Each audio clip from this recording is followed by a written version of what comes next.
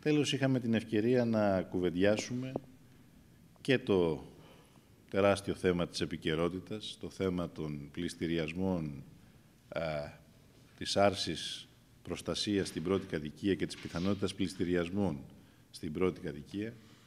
Για μας αυτό είναι ε, ίσως η σημαντικότερη κόκκινη γραμμή, την οποία αν δεν είναι διαθετημένη να θέσει η κυβέρνηση, θα πρέπει να τη θέσει η κοινωνία.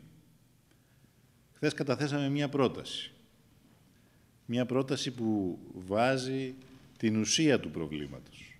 Γιατί δεν είναι μόνο η παράταση του ισχύοντος καθεστώτος. Κυρίως είναι η δυνατότητα να απαγορεύσουμε άμεσα την μεταβίβαση των κόκκινων δανείων από τις τράπεζες σε, κερδοσκοπικούς, σε κερδοσκοπικά ιδρύματα και οργανισμούς που με έδρα κάποια ε, νησιά του Ειρηνικού θα έρθουν να πάρουν φθηνά τα κόκκινα δάνεια προκειμένου να κερδοσκοπήσουν πάνω στην τραγωδία που βιώνει ο ελληνικός λαός.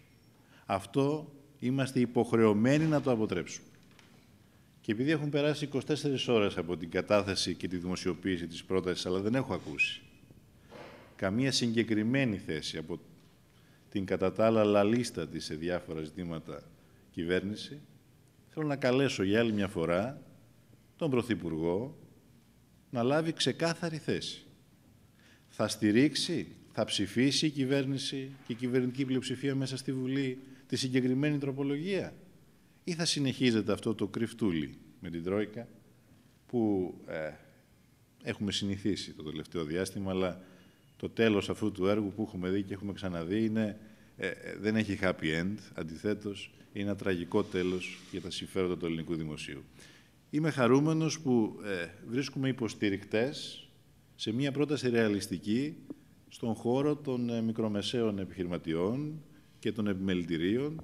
Πιστεύουμε ότι θα βρούμε υποστηρικτές στο σύνολο της ελληνικής κοινωνίας. Ελπίζω ότι θα βρούμε υποστηρικτές και στο σύνολο, ενώ στην πλειοψηφία, μέσα στην Ελληνική Βουλή.